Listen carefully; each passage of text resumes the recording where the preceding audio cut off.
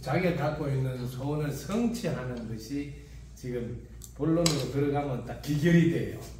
모든 사람들은 지금 내가 원하는 쪽으로 끝에 가서는 결론을 얻고 싶다 하는 이야기예요. 실제로는 네, 방편을 이렇게 하든 저렇게 하든 그러면 여러분들이 잘 보시라고 여기에 안에 들어있는 메커니즘이라고 이렇게 하나의 패턴이 형성되어 있는데 이걸 먼저 구도적으로 내가 이해를 해가 그래 살살 몰고 가야 돼.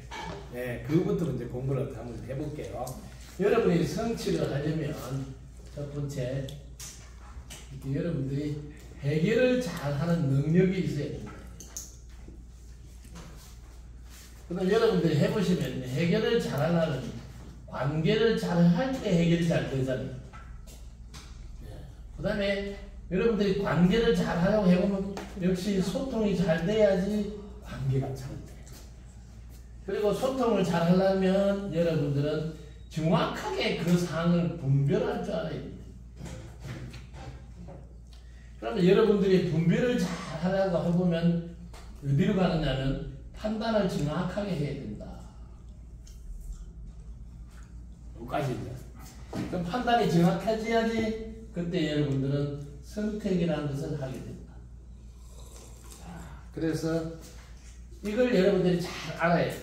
그래서 이렇게 인생은 선택이다. 이렇게. 이렇게 먼저 한번 머릿속에 그림을 그리라. 어? 내가 선택을 해야 된다. 그런데 요즘 사람들이 선택을 안 하려고 하는 사람이 많이 늘어나고 있어요. 왜? 선택한 뒤에 책임이 따르니까. 선택 안 하고 그냥 해요. 그래서 뭐요? 분명한 목표가 없이 사는 분들이 젊은이 중에 의외로 늘어나고 있다. 왜냐하면 그런 사람들 다, 다 안을 들여다보면 어떻게 판단해야 될지 잘 몰라요. 그다음에 판단이 딱 서야지 그다음 판단이 서면 분별해줘야 되거든요. 판단이 서서 분별이 돼야 되는데 분별이 되면 이 길은 고속도로 같이 달려간다. 여러분들이 여기서 판단이 제대로 돼서 분별만 되면 여기서부터 소통 딱 할 수 있고 이 소통이 되면 여러분들은 관계를 잘 할 수 있고 여러분들이 관계를 잘하면 결국 해결을 잘 할 수 있고 여러분들 해결을 잘하면 끝에 가면 결국 성취를 해낼 수 있다는 거죠. 이게 우리네 인생이라고 보시면 이 안에 들어있는 이 코스를 어떻게 여러분들은 이렇게 여기서 쭉 이렇게 올라가는 사실은 한 길이에요. 제가 안에 사 자세히 이렇게 살펴줬을 뿐이 길은 한 길이에요. 여러분들이 뭘 하든 간에 여기 판단을 잘해서 분별을 해야 된다. 요 길을 제일 잘 열어요.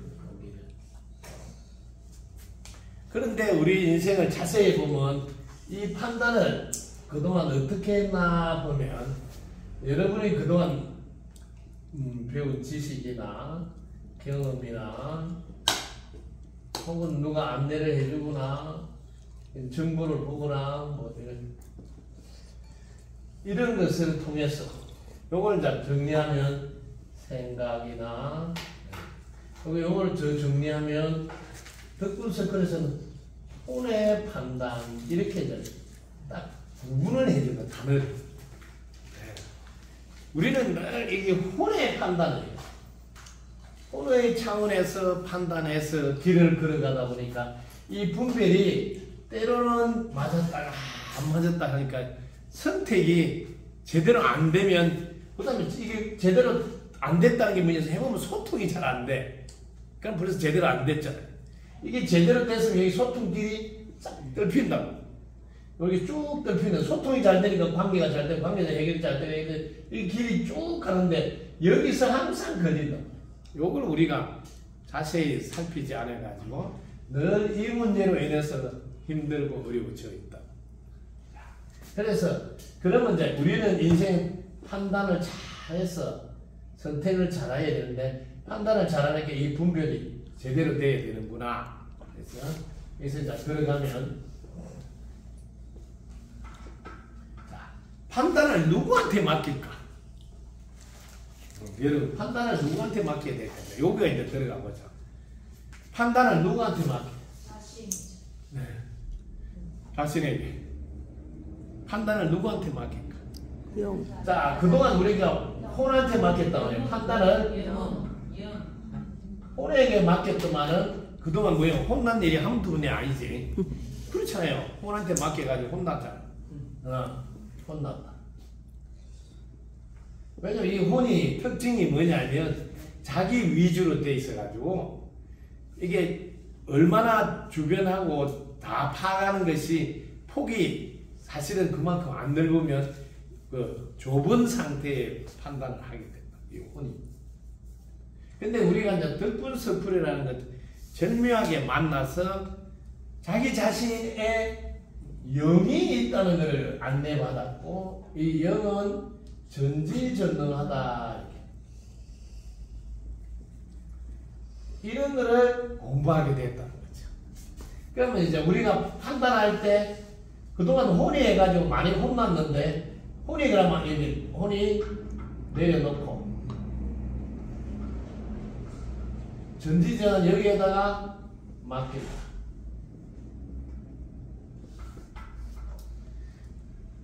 이걸 이제 한번 해보자 하고 지금 해봐라고 연습을 시키고 있다는 거죠. 왜? 이거 많이 해봤는데 제대로 이렇게 뭐 성취해가지고 성공해서 막 어? 풍요를 누리면서 나눈 거 이렇게 안 됐으니까 그동안 혼으로 해본 거는 경험해봐서 이렇게 이제 내려놓고 어, 오히려 전지전능하지 영한테 맡겨서 해보자. 그리고 내려놓고 이렇게 맡기는 과정을 우리는 무심이라는 단어를 쓴다는 거죠. 요거는 뭐는 뭐예요? 마음을 마음을 낸다 이렇게 이게 분별심이다. 이렇게.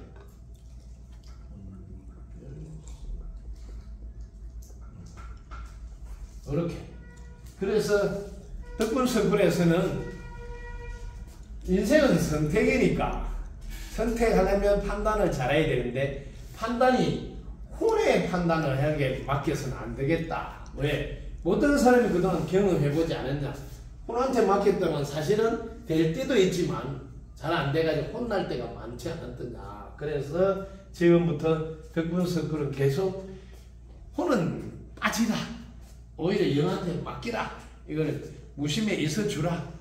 오히려 뭐 나서서 분별해서 뭐 하려고 하지 말고 왜? 요게 동작을 하라고 안내를 하고 있다. 그러니까 사람들이 이 방법을 쓰려니까 와, 저는 무심이 잘 안 돼요 이런 말을 좀 하기 시작합니다. 무심이 잘 안 돼요. 오히려 내려놓는 게 잘 안 돼요. 요 말인데 무심이라는 단어 쓰기 또 헷갈리가지고 내려놓는 거 제일 잘 되는데 왜냐면 여러분 해볼까요? 덕구입니다. 해보세요. 네. 덕구입니다 하면 순간적으로 여러분들은 그 순간적으로 다 내려놔져 있어요. 뭐 다른 거 안 하는 거거든요. 근데 이게 시간이 짧다는 거야. 덕구입니다 하면 그동안 순간적으로 또 내려놔지는데 또 오늘 그때 또 덕구입니다 하라는 거죠. 처음에는 10초만 내려놔 있는 시간은 나이도 20초가 되고 30초가 되고 1분이 될 수 있다는 거지. 여기 내려놓는 게. 그래서 여기 시간이 자꾸 자꾸 늘어나는 거지. 그런데 이걸 방법을 좀 알면 오랫동안 할 수 있어요. 왜냐하면 이렇게 입꼬리를 딱 올리고 있으면 입꼬리 올리면 여러분의 마음은 한 번에 한 곳밖에 못 가니까 입꼬리 올리고 있는 동안은 계속 무심히 있게 돼. 그래서 의외로 쉽다. 마음의 특징 때문에 마음이 한 번에 한 곳밖에 못 가니까. 자, 이렇게 무심해서 지금 자, 자 요즘 분들 예 건강을 원하니까 이 건강을 도와주자. 그래서 건강에 대해서는 하도 많이 안내를 해놨대요. 역사적으로는 이렇게 좀 적게 먹어야 된다. 소식 이렇게 말한다. 적게 먹고 어떤 때는 이제 좀 더 많이 비우자. 단식 이런 단어를 쓴다는 거지. 이게 좀더뭐 비우자. 근데 요즘 사람들이 먹는 맛에 낙이 있어요, 낙이. 즐거움. 그 먹는 맛에 즐거움이 있다 보니까 요게 적게 먹자 먹, 먹지 말자 비워서 그래. 이런 이야기가 사실은 잘 안 먹혀요. 왜냐하면 모든 환경이 맛있는 유혹의 세상이에요. 여러분 광고 보면 전부 다 돌려보면 계속 맛있게 먹는 이야기만 하고 있어. 그런데 이게 조금 먹고 오히려 먹지 않고 좀 비워주고 이런 이야기가 요즘 사람들 잘 안 돼. 이유는 이분들이 즐거움이 딱히 없어. 이게 먹는 맛, 요, 요 즐거움을 좀 많이 취한다는 거죠. 다른 즐거움이 있어야 돼. 즐거움 중에 아무리 먹어도 먹어도 괜찮은 즐거움이 있어요. 무슨 즐거움일까요? 공부. 어, 공부의 즐거움. 법칙. 네, 이걸 공부의 즐거움, 이걸 법식이라고 해요, 법식. 이걸 먹으면, 이, 이거하고 게임이 달라요. 이 즐거움 맛이.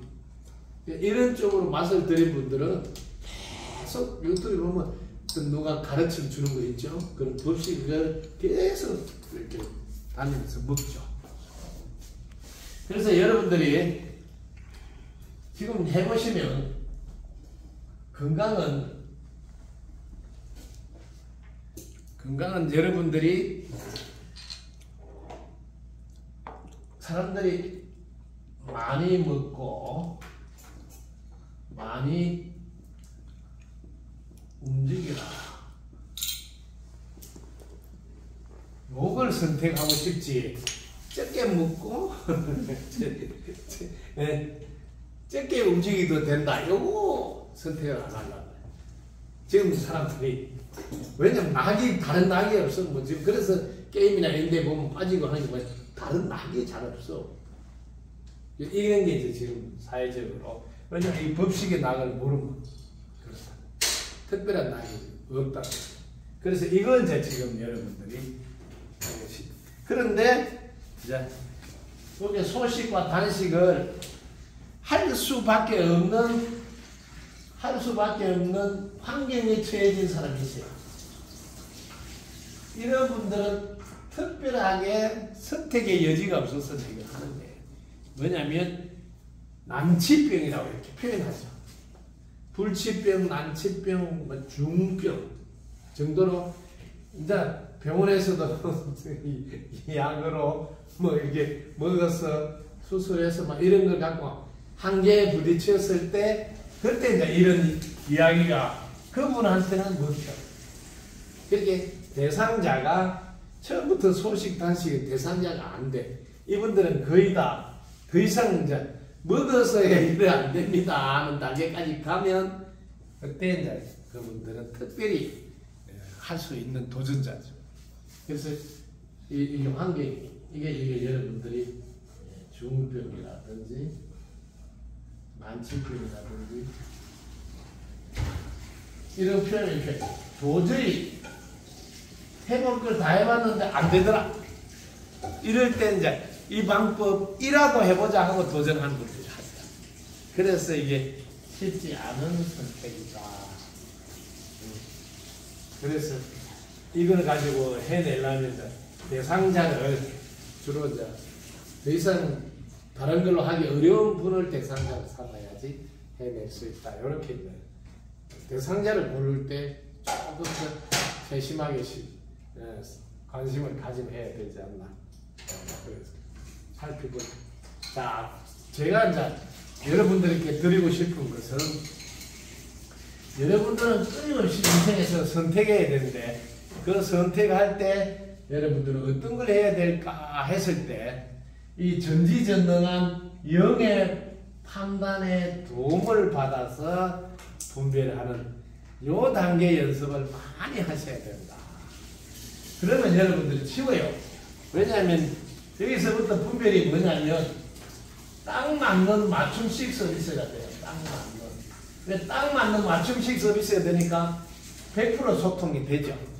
소통이 되니까 관계가 원만할 수밖에 없고 관계가 잘 되니까 해결은 뭐 저절로 되잖아요. 해결이 잘 되니까 뭐 성취하는 건 문제가 없죠. 그래서 이 코스가 다 오로지 이 무심이라는 이분의 역할로 이루어진다. 그래서 무심은 왜 해야 되는지 이걸 집중적으로 이야기를 하지 않기 때문에 실제로 마음 공부를 오랫동안 하는 곳에서도 무심의 역할을 대해서 이야기를 하지 않음으로써 이 무심을 알고 지나만 가지 활용하는 차원이 있죠. 이 무심을 활용을 해야만이 우리 인생의 선택이 딱 맞게 돼가지고 어, 소통도 되고 관계도 원만하고 해결 성취가 쫙 된다. 네, 이 코스가 죠 그래서 이것밖에 없는데 여기 출발 여기가 시작인데 시작이 끝이거든. 판단을 제대로 해서 제대로 분별이 돼야지 딱 맞는 서비스가 된다. 여기가 코스가 무심이라는 이 도구를 통해서 해낼 수 있는 거다.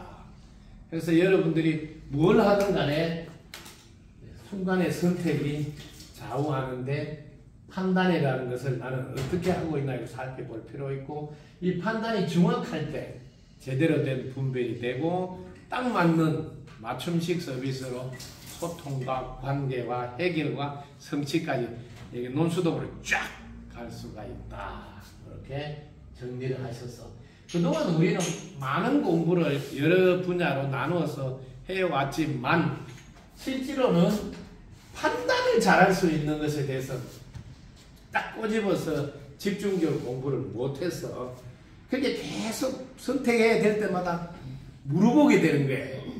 특히 또 용하다는 사람한테는 물어보기도 하고. 왜? 자기로서는 판단이 어려우니까. 어, 저도 뭐 저한테 와서 특히 보이지 않는 세계는 안 보이니까 뭐 산소를 이렇게 옮겨야 됩니까 뭐 이런 거 전부 다 보이지 않는 판단하기 애매하니까 이런 질문을 저한테도 많이 하게 되는데 우리는 인생이 선택의 연속이라서 그렇다. 어, 선택하려니 판단해야 돼요. 판단하는 게 정확한 분별이 있어야 되니까 이게 내가 가지고 있는 지식이나 그동안 경험으로 잘 안 될 때가 있다. 왜냐하면 보이는 세계에서만 내가 경험했던 거, 보이지 않는 세계는 내가 경험하지 않아서 잘 모르다 보니까 이게 어려운 부분이 있었다.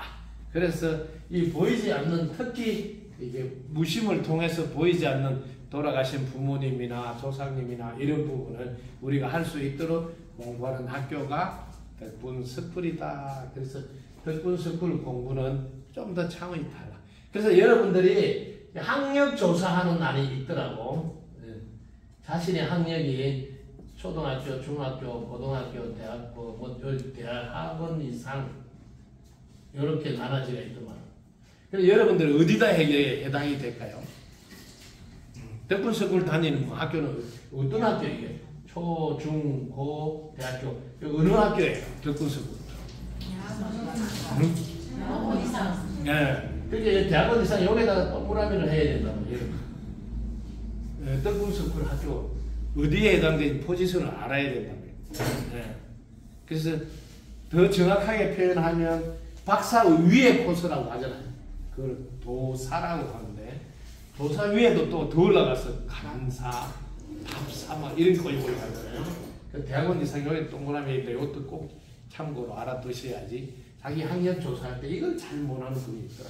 학교는 다니는데 우리 학교가 뭐 어디에 해당되나 그죠? 알겠죠? 자 정리가 됐어요. 무심의 역할 똑소리 그래서 무심 무심 소리 하는구나 정리가 됐죠? 자, 드립니다. 감사합니다.